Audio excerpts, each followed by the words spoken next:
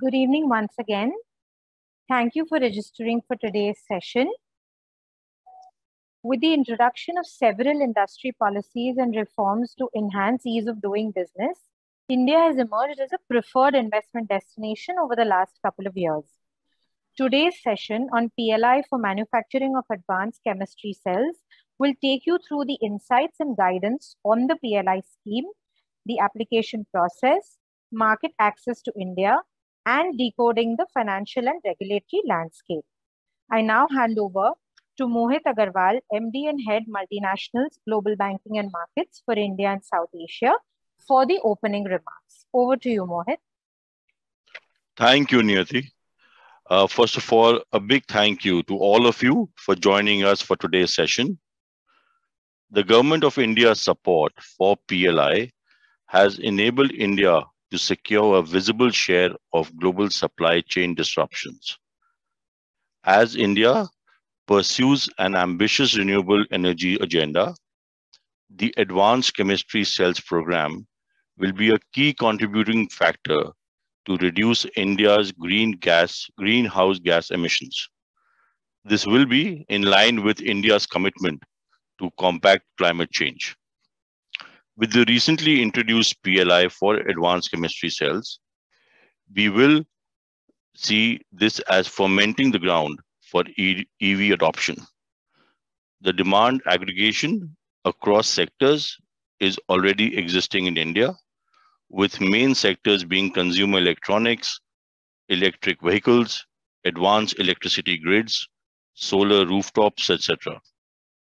While several companies have already started investing in battery packs. The capacities of these facilities are too small when compared to global averages. We have not witnessed substantial investment in manufacturing along with value addition of advanced chemistry cells in India. The demand for these is currently largely being met through imports. The national program on advanced chemistry cell battery storage will reduce this import dependence. It will also support the Atmanirbhar Bharat initiative, and Sujit from Niti Aayog will add to this later in the session. Thank you again for taking your time for this session, and I hand it over back to Niyati. Thank you, Mohit. I now invite Sujit Jena, Senior Advisor Niti Aayog and Architect of the ACC policy to take us through his views. Sujit, over to you.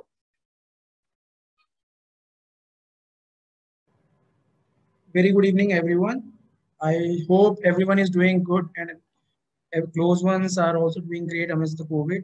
Thank you, HSBC team, Mohit, Niyati, Raghav, Mansi, and everyone for organizing such a great organization meeting and everything at a short tenure and I look forward to interacting with people on this national mission on transformative mobility under which the ACC program has been approved.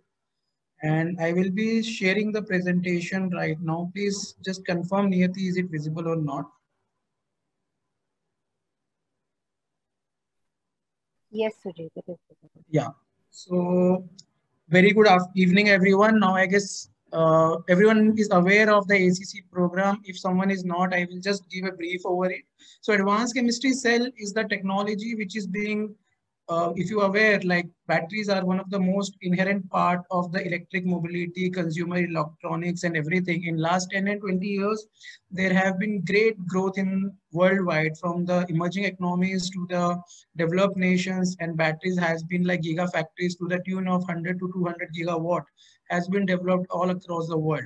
And still as a country at India, we are in a very nascent stage and not able to grab the opportunity like in the past for the semiconductors. Now the country with the initiative has taken in 2019, where the National Mission on Transformative Mobility was announced for reducing the import dependency at the same time to control the greenhouse gases as stated by Mohit in the previous discussion. So this program was conceptualized and Recently, the cabinet has given the approval for the program for around 18,000 crores for a tenure of five years. As per the 2000, uh, latest guideline, which has been released in the PIB and the gazette notification is also there in the public website for you people to go through.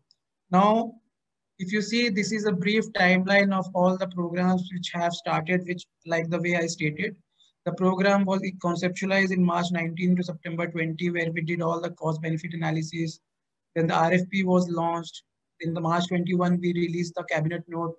And in the May 21, the cabinet note was approved for the ACC program. And we have been continuously having multiple stakeholder discussion like this by HSBC going forward also.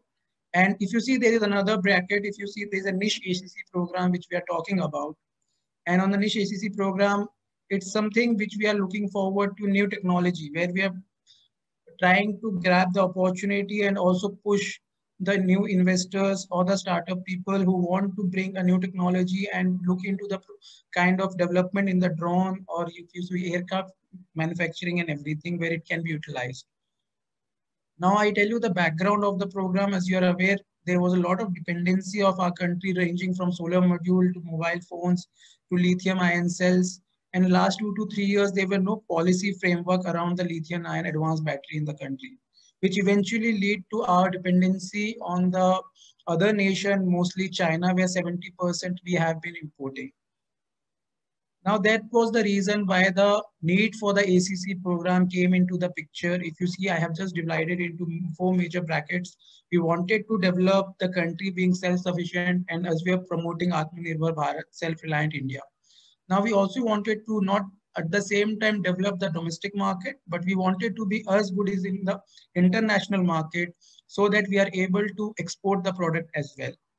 It is also a part of our energy security consideration as per the Paris Agreement, where we wanted to control the greenhouse gas emission and everything, and at the same time depend reduce our dependency on oil and gas. Now, this is a basic structure or graphical representation of what can be and what if we are with the program and the program is being successfully envisaged and it is being implemented how the import bill between next seven to eight years is going to be reduced to around 3.5 lakh crore. And if we are going to be dependent on the other nations, China primarily, then the import dependency is never going to be taken away. And at the same time, if you see the import bill can be reduced to 1.7 lakh crore, which come to around 20,000 crores on an annual basis. And the graph is just a pictorial representation of that values. Now, if this slide just talks about how the gigafactories across the world are being developed. And as a country in India, we country in India, but the country and at the same time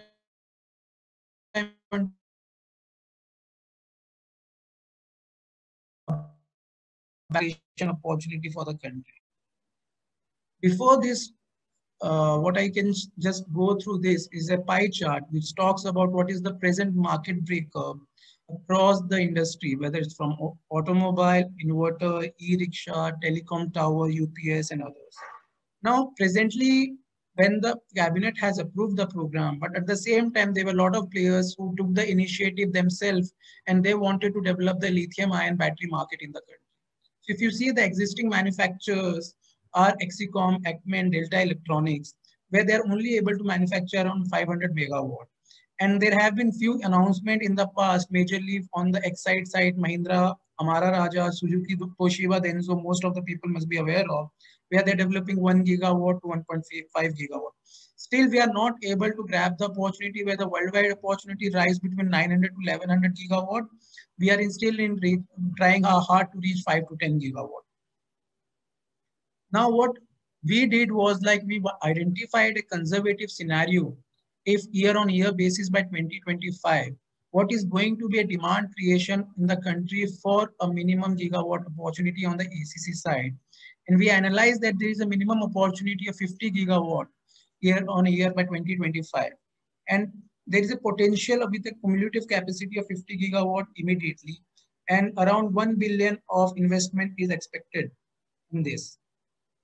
Now, if I tell you the, the brief contours of the program, the program was a central level fiscal incentive which has been approved by the cabinet Niti Aayog along with the DHI is going to be the implementation agency for that.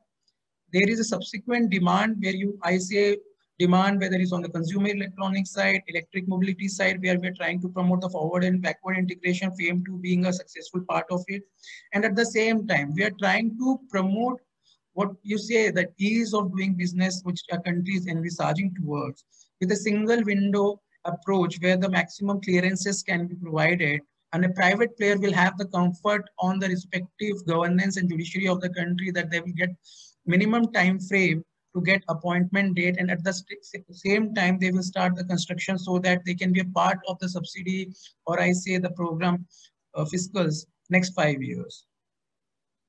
This is a basic slide which talks about what is advanced chemistry cell and what are the major factors which governs advanced chemistry cell, majorly on the energy density and cycle life. And it is very self-explanatory in nature, so I'll not go deep, deep deal into it. Now, this is something which is very important for everyone to have a look like for example, if I see China and US, right now they have everything from the supply chain side, whether it's raw material processing, cathode manufacturing, separator manufacturing, electrolyte, anode cell, everything. And in our country, we are only in a very timid space. We are, we are only focusing on the battery packs. But at the same time, we have to be self-reliant we have to push the program. We have to be as a public and governance side and make sure that we implement it to the rest of the capacity and to make it as a so what we have is the graph which shown to reach 60% of value addition in next five years and how it can be achieved on a stage-wise basis.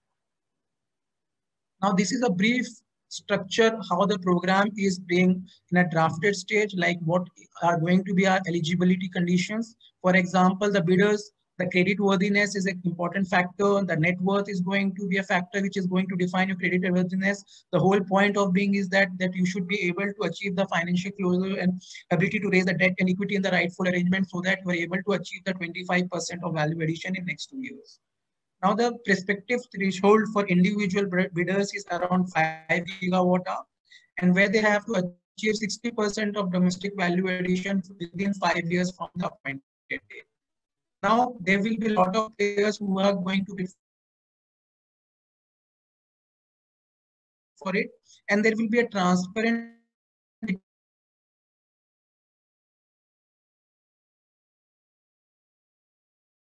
will be followed CBS production in India.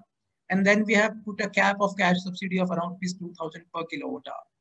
Then the subsidy provision, as you are all aware, as per the gazette notification, is going to be offered for five years. And the maximum award for per beneficiary is going to be 20 gigawatt. And the subsidy will be on the actual sales which you are going to achieve. Then the mechanism of selection will be a standard selection mechanism where the RFP will be done. Once the bidder gets awarded, LOA will be released. Then there will be a program agreement which gets signed between the central and the state along with the state support agreement with the beneficiary. The, to keep up good performance check and at the same time maintain that the kind of output we are receiving has the highest quality standards. We have maintained a robust monitoring and penalty provisions. The penalty is on only on account of the failure of the bidding stage which you have under consider on a QCBS mechanism. I will reiterate again because there is a lot of market downplay that okay we are going to penalize the people who genuinely want to be a prospective bidder. Nothing of that sort I want to make it clear once again, the criteria of a QCBS selection will be openly on the RFP stage where you have to define what you're going to achieve the scale of production with the value capture. If you are not able to achieve those performances, then only the penalty will be applied. And also there is a sufficient cure period which is being provided to all the beneficiaries so that they're able to maintain or reach back to those kind of basic standards which they have committed towards the bidding and get the respective subsidy and the benefits. This is a cash subsidy mechanism. The formula is very clear. The subsidy amount is on the applicable base subsidy which you will apply on the RFP stage with the value capture which you're going to achieve on year on year basis and with the quantum of the cells you've been sold in the market. And this is INR per kilowatt with the bonus and the timeline and how the timeline is going to be awarded.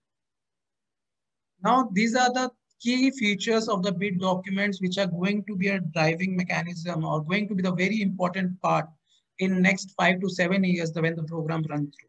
There is a program agreement which clearly talk about how the subsidy is disbursed as a framework, how the market demands safeguards are being considered, how is going to be the key concerns of the bidder as well as the government being taken care of, how is the monitoring of the end product is being considered and how there is a sufficient opportunity for both the authority and the beneficiary to safeguard their best of the interest.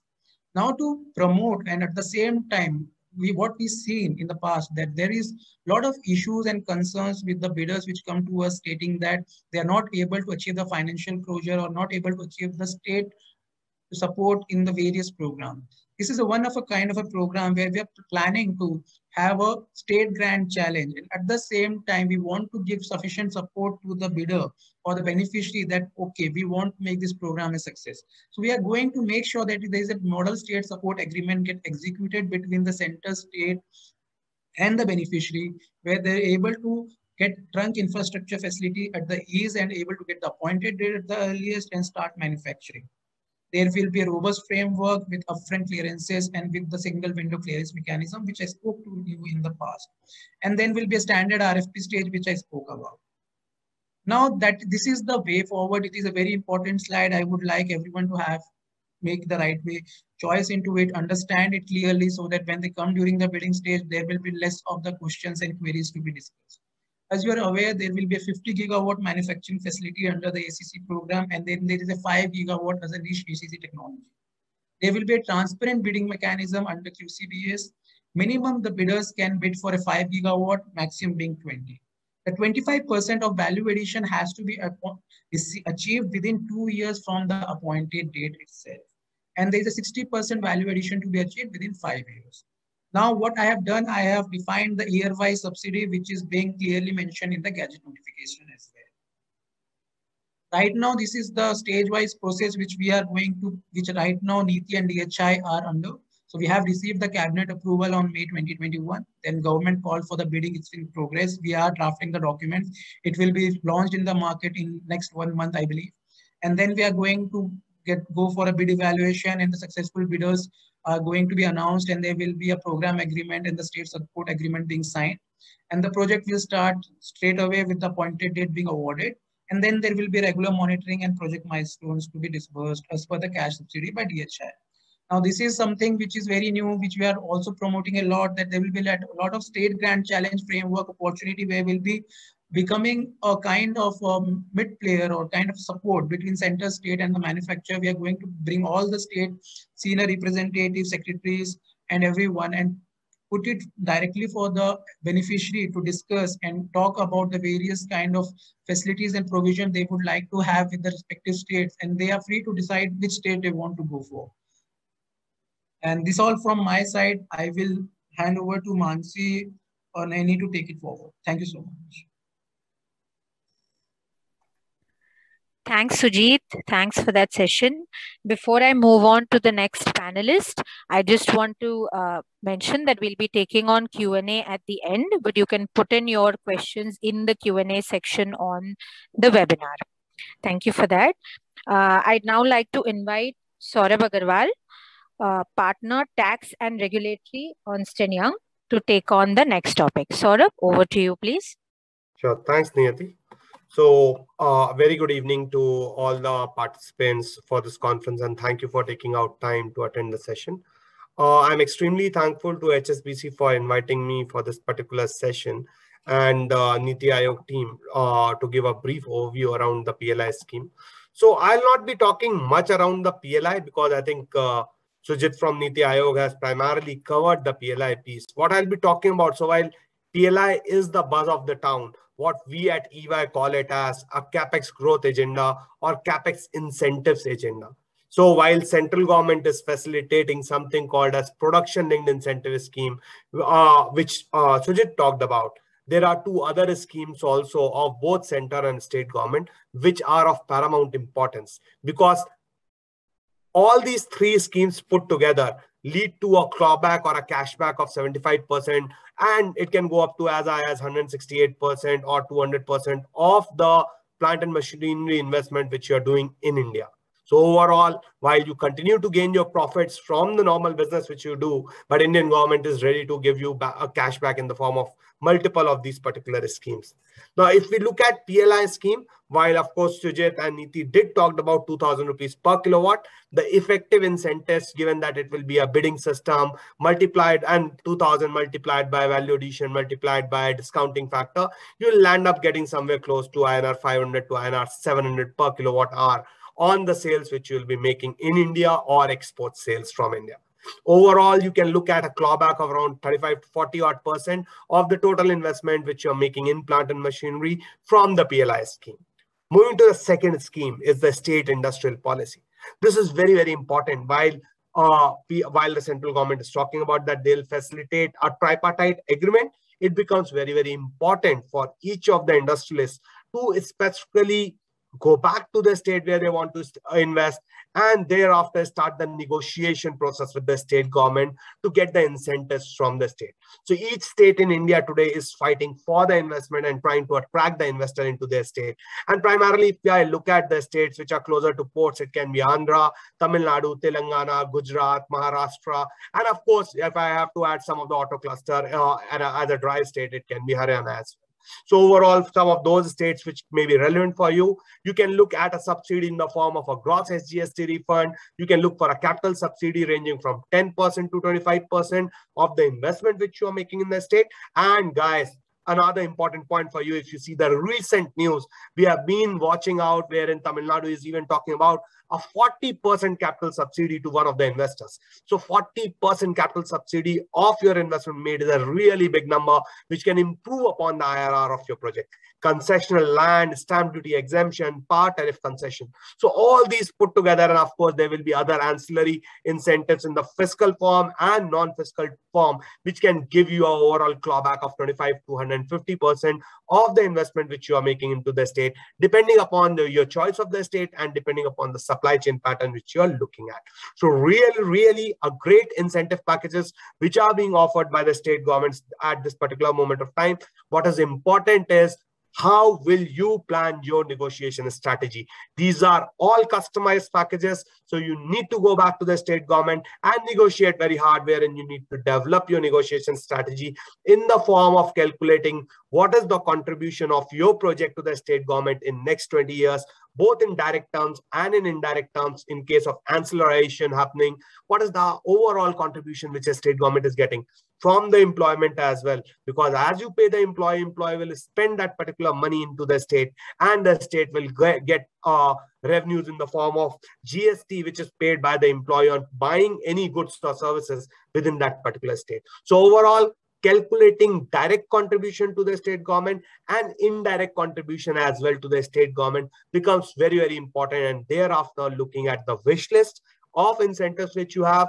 also looking at what are the neighboring states offering and what are the auto cluster states offering for a similar size of project when you are going for these negotiations. So, uh, so what you need to do is you need to do your homework properly when you are negotiating upon these incentives with the state government.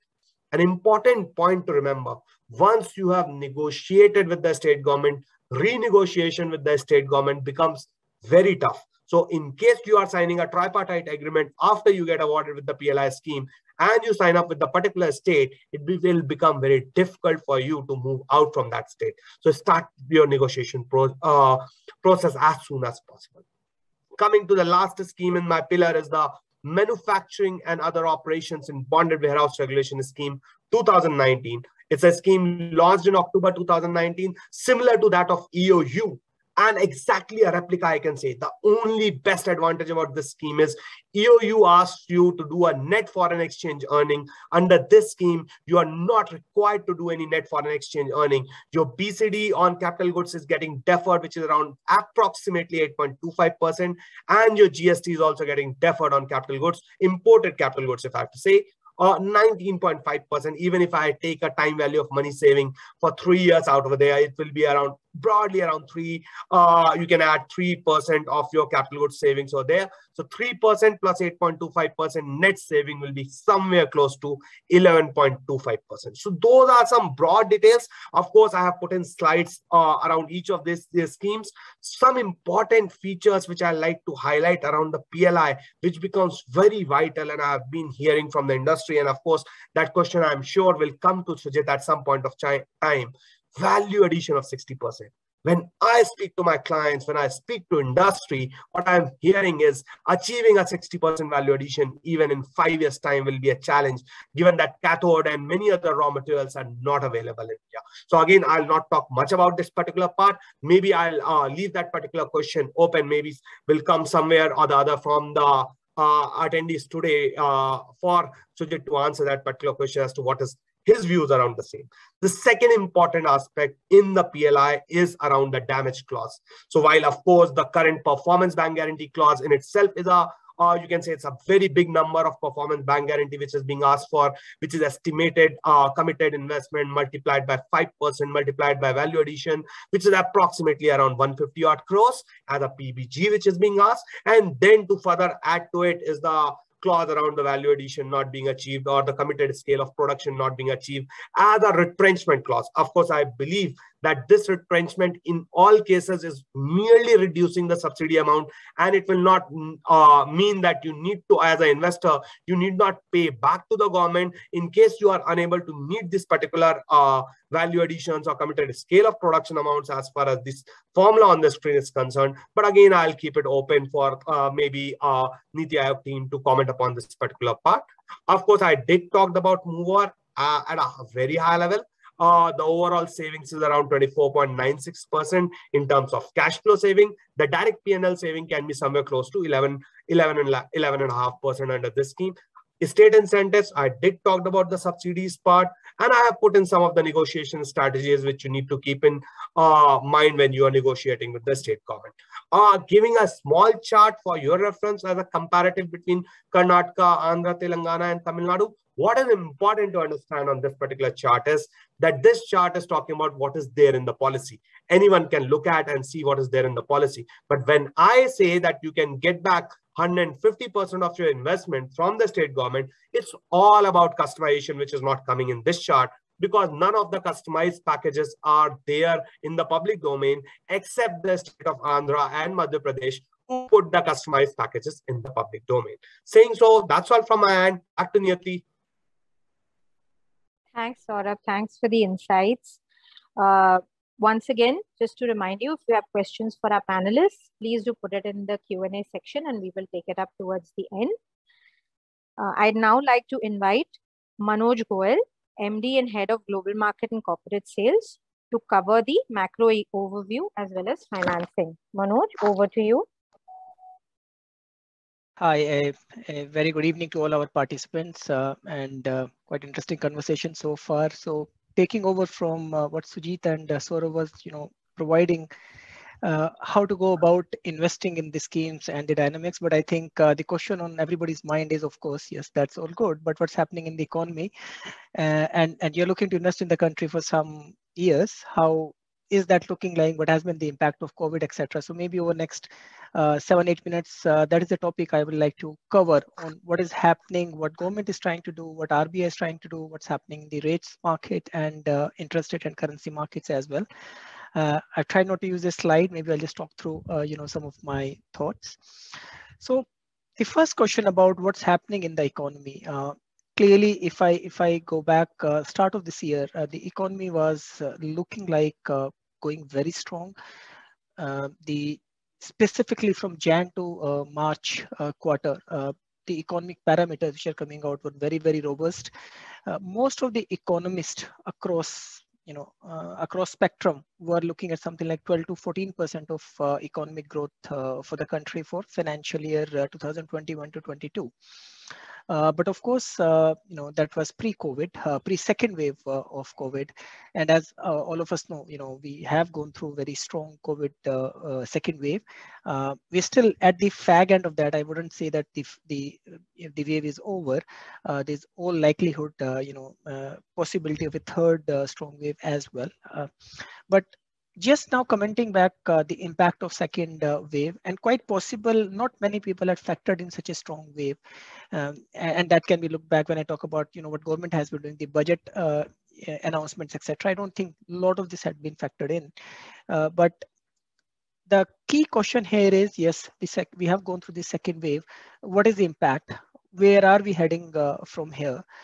Now when we look at what is the difference between this COVID wave and the last time around, uh, there are some very, very uh, key differences. And last year, we know, you know, while the country went uh, quite in strong lockdowns and the economic activity was quite strongly impacted around the time. But once the uh, we were out of the first COVID wave, we saw very, very strong uh, recovery, uh, pent up demand coming in. The question right now is, are we going to see a repeat or this time the growth could be muted and we can have a larger impact?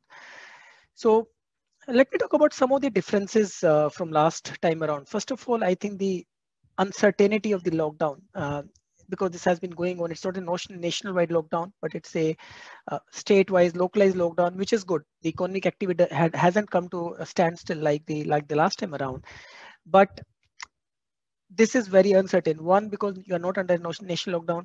Uh, in various bits and pieces, the uh, lockdown continues. Like if, if in, no, for for example, right now in Bombay also, the you know there's no dine-in uh, or, or the market has to be closed by 4 p.m. So those are some of the thing uh, which comes in at the same time if you don't know how long this is going to last you know the planning the the logistic everything you know comes to standstill so while the overall country is not a full lockdown, which is good, but at the same time, the uncertainty continues. That can continue for a longer period of time. The second part is uh, clearly the impact uh, and the uh, on various section of the society. Last time around, uh, pretty much, uh, I would say the middle or higher income uh, strata of the society was pretty much relatively left untouched by COVID first wave.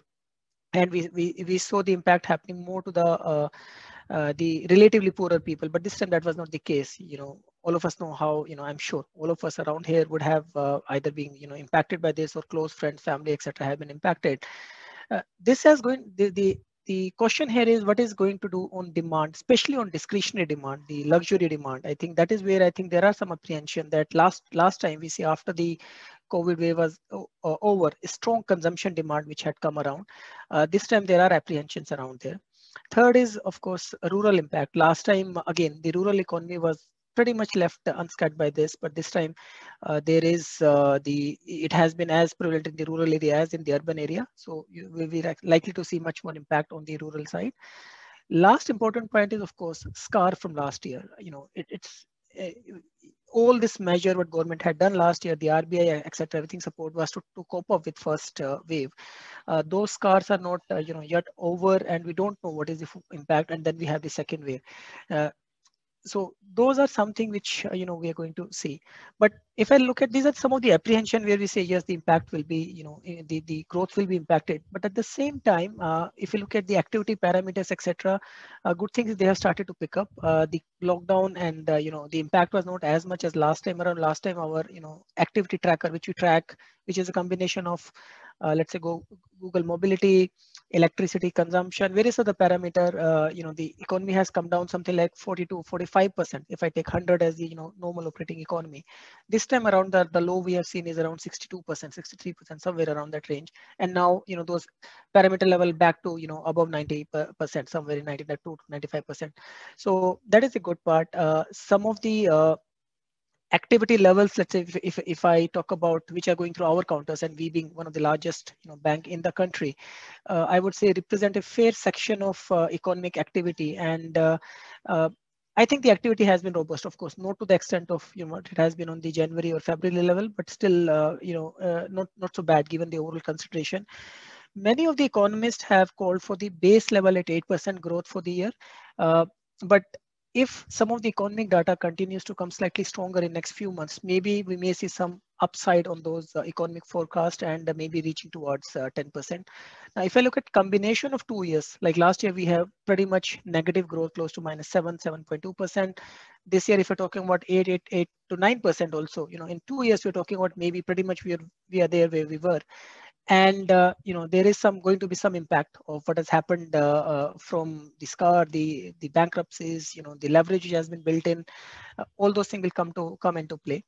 And one important part which you need to keep in mind is uh, you know uh, while many of the let's say if you look at the stock indexes other thing we're talking about the parameters which may be representing more of the organized sector clearly they can be much more impact on the unorganized sector now, having said, you know, this is a backdrop, uh, backdrop, let's look at what RBI is doing, what government of India is doing, and how that's going to impact uh, the rate and, uh, you know, interest rate market.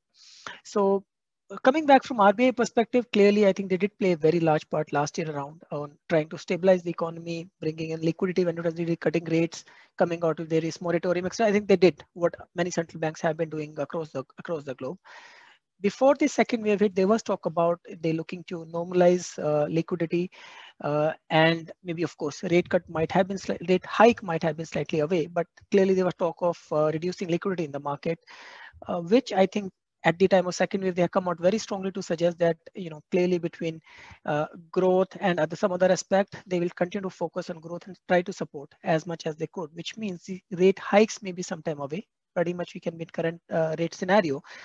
Uh, but two things which uh, they are worried about and, and, need to watch about is one uh, inflation. As uh, across the globe we have and i'm sure some of you would be seeing that directly in your commodity input prices the inflation has been picking up uh, quite significantly across the globe.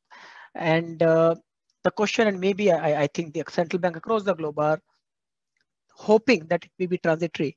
Uh, but more and more uh, people are coming around, may not be transitory and it may be, uh, you know, a bit more uh, long drawn uh, inflation, which they need to grapple with. While we don't expect central bank to, you know, really act uh, and, and start focusing fully on inflation right now, but sooner or later it will start coming and more in prominence.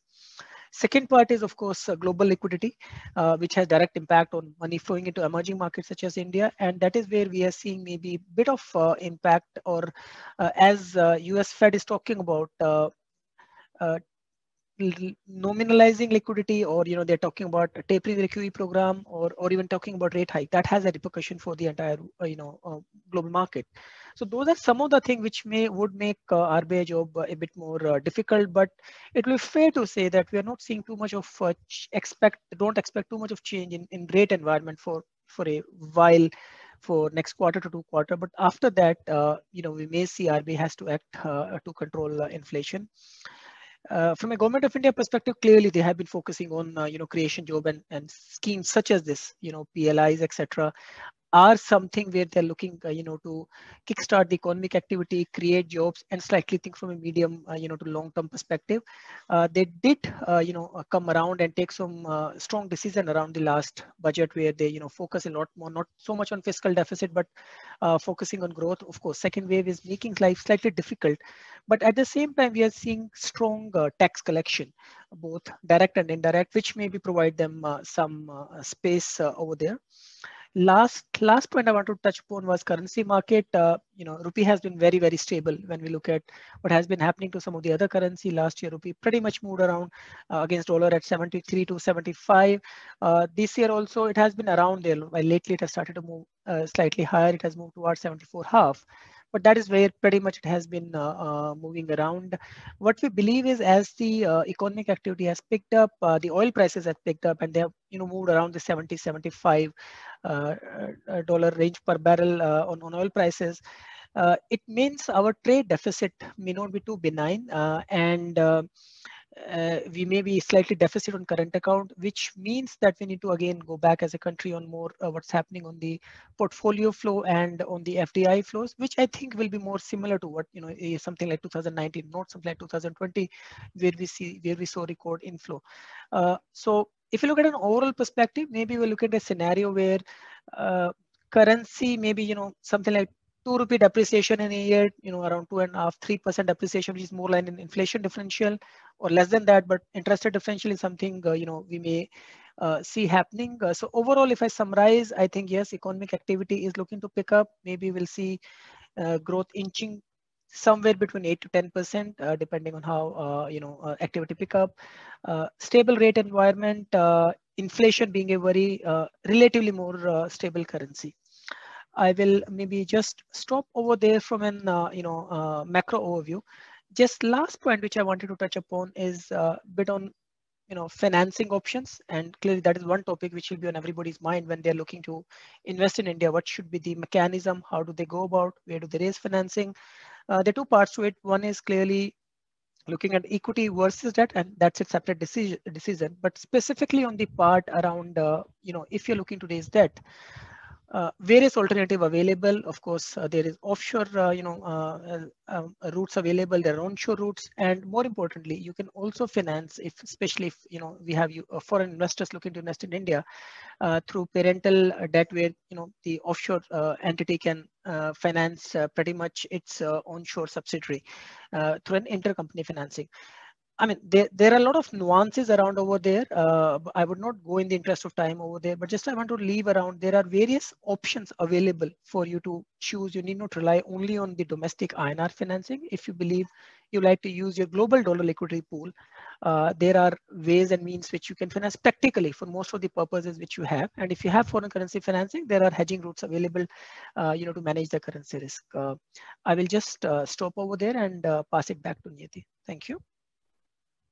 Thank you, Manoj. Uh, I'd now like to hand over to Mansi Pandey, Director and Head, International Subsidiaries Banking Mumbai, who will do the closing remarks and then address your question and answers. Mansi, over to you. Sure. Thanks. Thanks, Niyati, for that. And, uh, you know, I, I thought maybe, you know, we've heard, of course, uh, fairly good insights, detailed insights from Sujit, Saurabh, and uh, Manoj. And uh, we thought we'd invite in some of our industry captains itself. So we, we do have uh, Himanshu Patel, who's joining us. He, he's the, the CEO of Triton Electric and uh, based out of New York. And we also have Dr. Sailesh Upreti, who is the CEO of C4V, again a New York-based, uh, you know, energy storage uh, major. And we have both of them on this call, so I'd, I'd really like to kind of draw them into the conversation as well, uh, because a lot of the uh, the policy chirps that we've heard today, I think they are really going to live and breathe it. Um, so welcome, uh, Himanshu and Sailesh.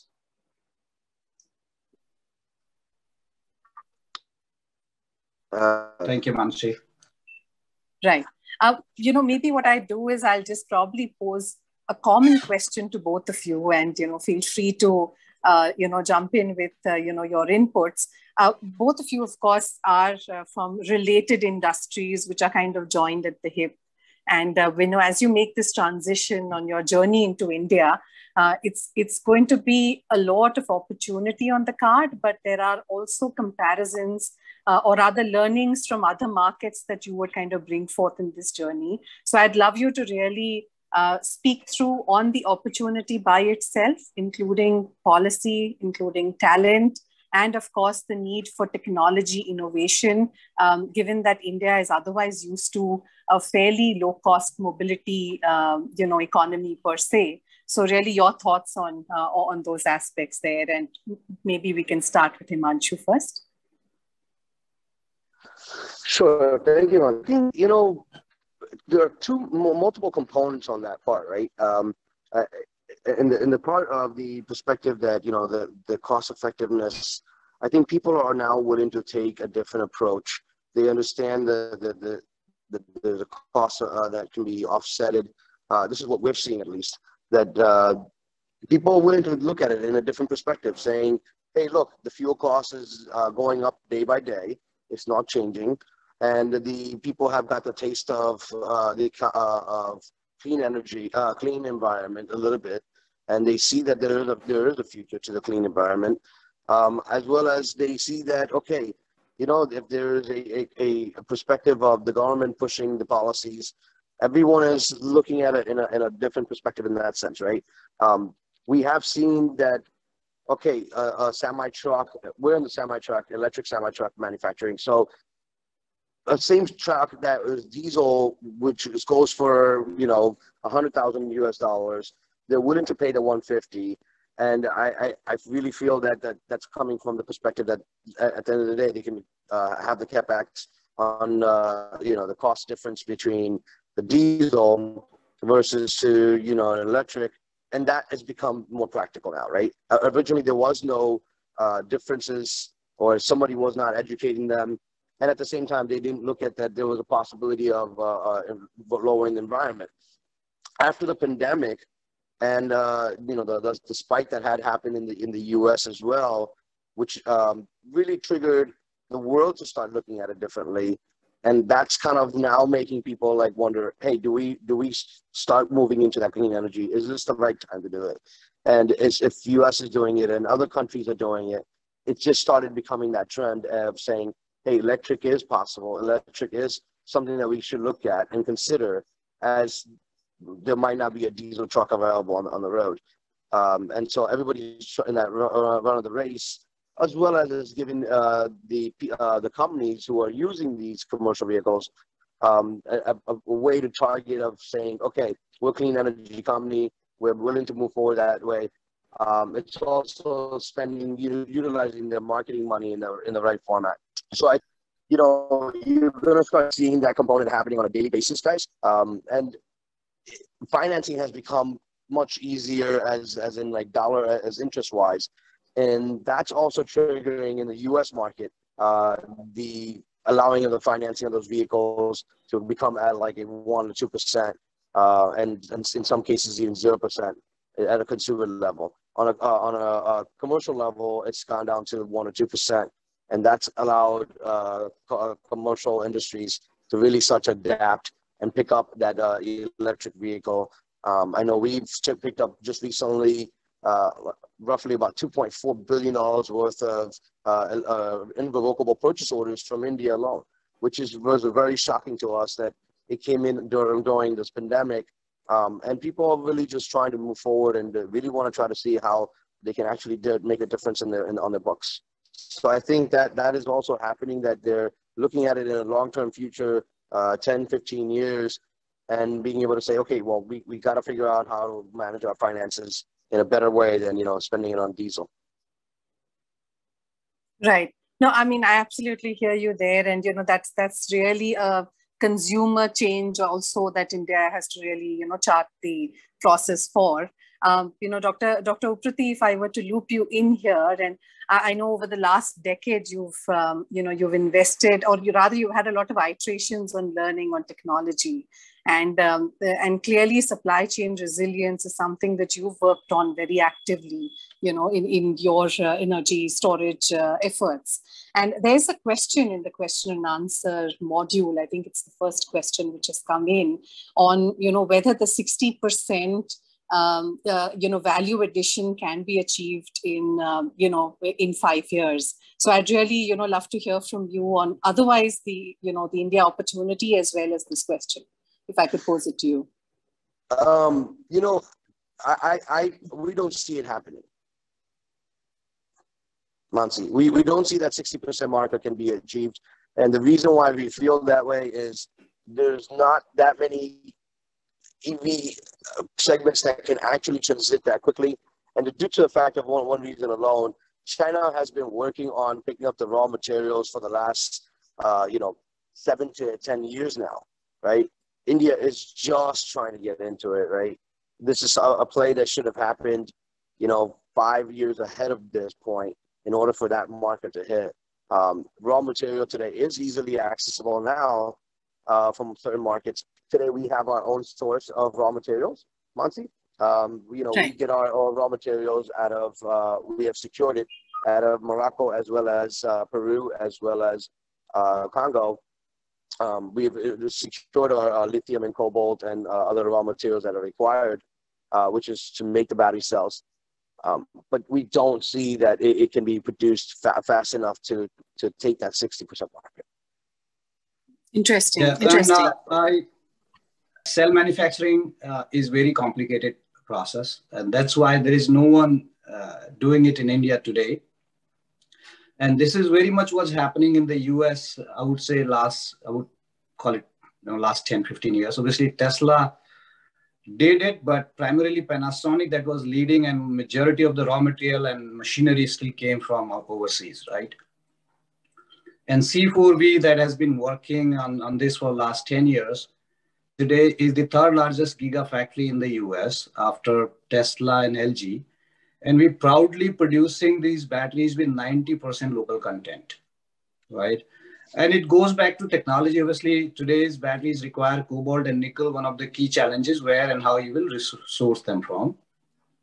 That's why I think the advanced chemistry outlook uh, that we saw from Niti Aayog and and the overall policies around. And I think it's a very, we have been part of those discussions, uh, you know, with, with the Niti Aayog in past. I think it is very good uh, strategy for longer term, uh, you know, adoption and the cost reduction of the EVs. And we believe companies like us, and there are many more, who can bring the 60% local content even day one. I think the need is to really bring the industrial cluster, uh, you know, companies who understand the ecosystem as well as the complicated manufacturing so for us, the advantage is not having cobalt nickel. We have been working with end-to-end, you know, value chain for last four years in India. Uh, you know, have signed several contracts, but also signed and qualified uh, raw material supply. India is third largest in graphite. India is globally known for polymer. You know, polymer is uh, one of the critical component at separator. So the, when, when we talk about value add, I think it's not just the raw material itself, it's the overall, uh, you know, value that will be added the cell level, right? So if you're making slurries, if you're making, uh, doing all your assembly, formation in country, that's right there is 25 to 30% value add. If you bring either cathode or one of the anode separate electrolyte component, that's right there is, you know, 60%, all I'm saying.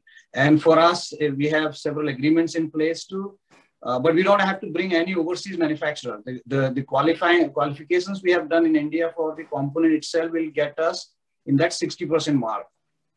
And we recently announced that uh, we will be setting up uh, 5 gigawatt hour in Karnataka, signed the MOU with the Karnataka government as well. And uh, our goal is to bring that 60% uh, within first year. Forget about five year. Five year, we, were, we are aiming to uh, get to 90% and bring the cost down at the pack level to $100 per kilowatt hour. And I think that's very much necessary to really compete with, with the larger, uh, you know, producers today. Uh, we have to uh, break the three gigawatt hour production mark to get there. Uh, but in, in bigger context, I think end of the day, the cell going to be the heart and brain, brain of the vehicle.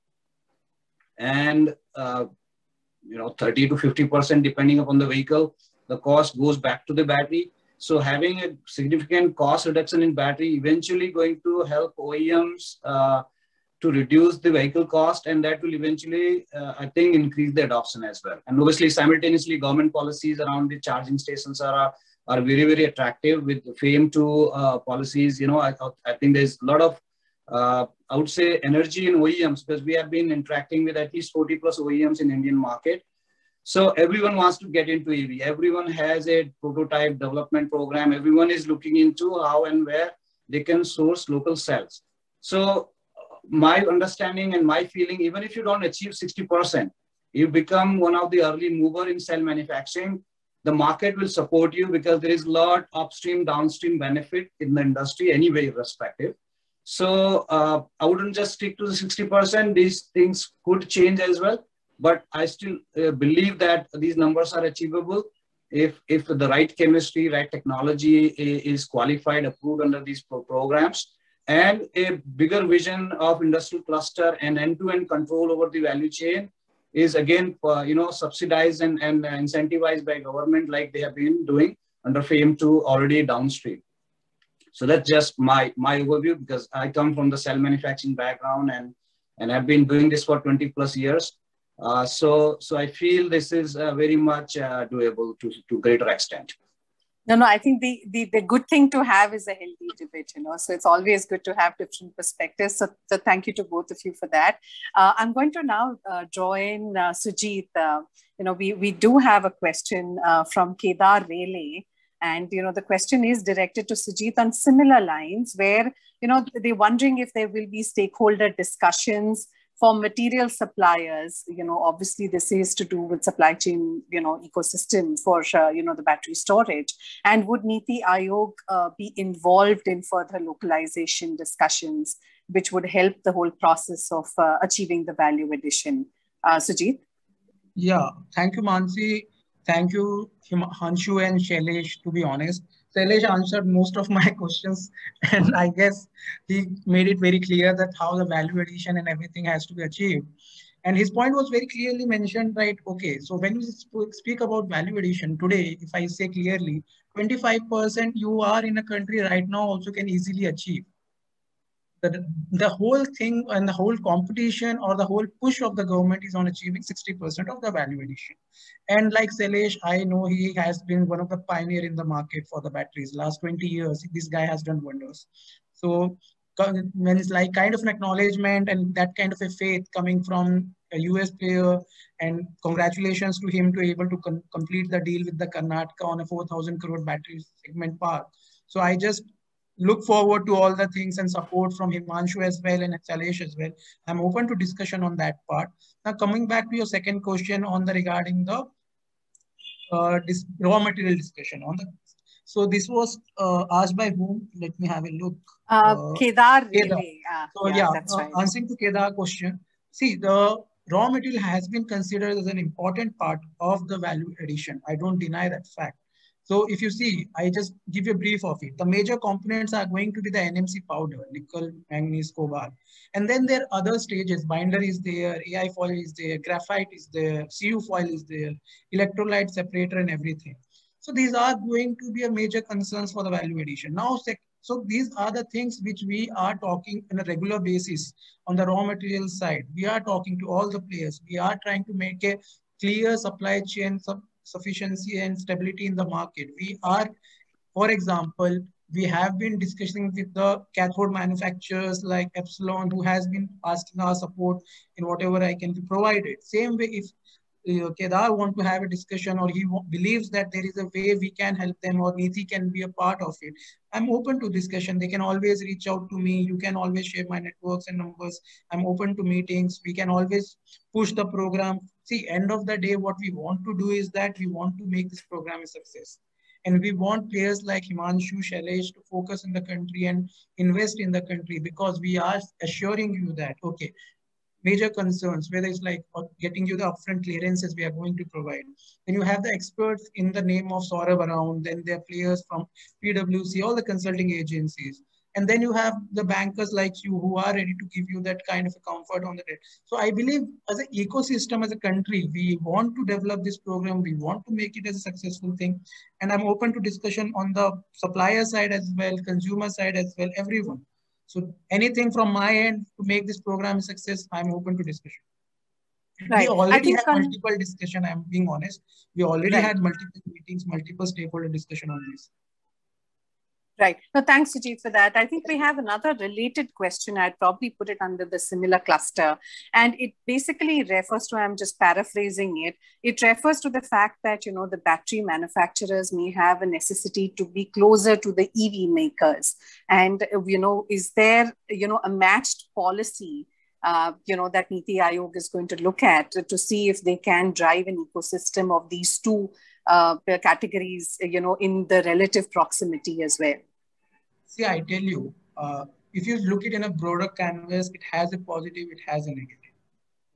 See, I don't want, for example, there are EV players who have already taken the ride and they are already present across different part of the country. Now, a new battery manufacturer, if I come with a new policy which is going to align them saying that, okay, because an EV player is in Gujarat, you have to start a, a product in Gujarat or a plant in Gujarat. I'm binding or not giving the freedom of choice to the respective battery player because he may go to any state, look for the best incentive. So I am leaving it on the players to decide. Okay, for a player like Maruti, Suzuki, Denso, they will be more comfortable in a state like Punjab or Gujarat.